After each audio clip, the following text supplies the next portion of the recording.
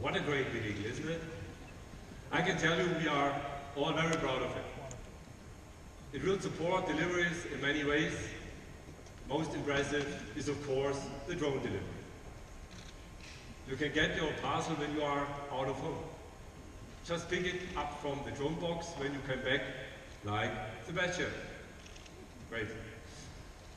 And I hope you had a great time here at our WAN Innovation Campus. I told you about the future of our business. You experienced our projects, ideas, and innovations.